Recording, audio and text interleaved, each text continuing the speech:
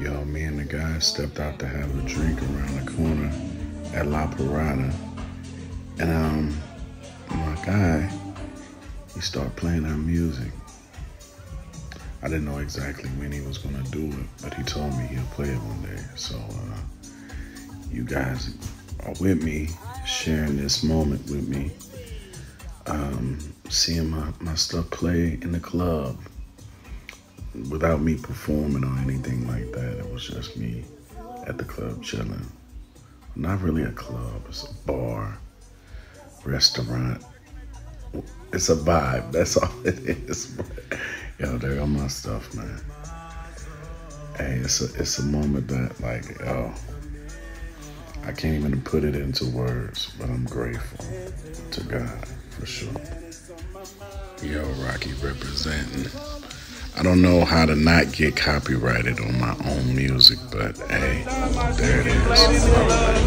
We outside, outside, man. Shout out to Big Smoke, you know, out here doing big things. But yeah, man. How you feeling? Hey, yo, how you yeah, feeling? For sure. I'm feeling, I'm feeling like a boss right now, baby. I'm feeling this, this next, this next level shit right now.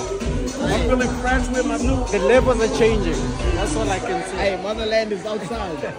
hey, this in Goué. Yo, he's got a.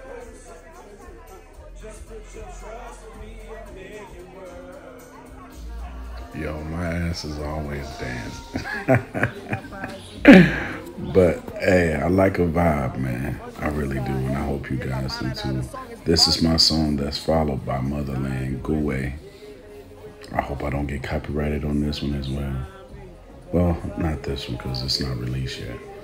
But yeah, it's a vibe, man. It's a different kind of feeling hearing my stuff being played, you know, so everybody else can hear it in a setting like this. I hope you guys enjoy the ride with me because it's for us. That's some crazy shit right there.